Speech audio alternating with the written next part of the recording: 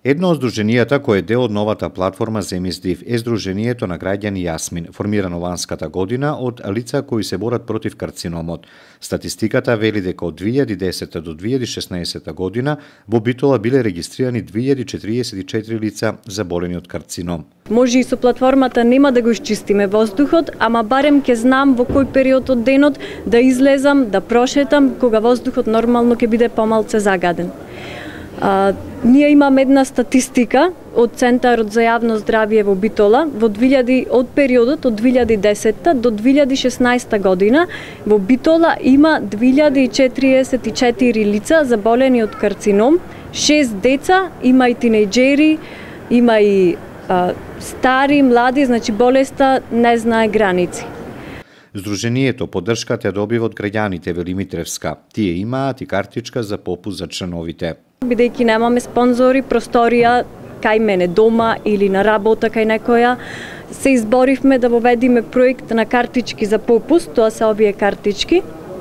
И со овие картички имаме поддржувачи кои што а, значи заболените лица можат да додат и со картичката да ја приложат, да купуваат или да јадат негде со попуст и при тоа заштедуваат за лекарства бидејќи болеста е на вистина премногу скапа.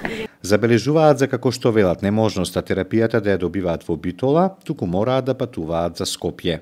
То многу пациенти од Битола, јас сум моментално пациент во Скопје и патувам на 21 ден, а верувајте дека има многу пациенти кои што од Битола патуваат до Скопје само за да примат терапија, ете конкретно јас за 5 минути. Значи тој е проблем што во болницата во Битола има само мислам дека се моментално три онколози и не знам од која причина пациентите одат во онколошкиот центар Скопје. Хемотерапија. За радиотерапија исто така има во Битола, меѓутоа нема кадар и за радиотерапија 21 дена пациентите лежат во Скопје.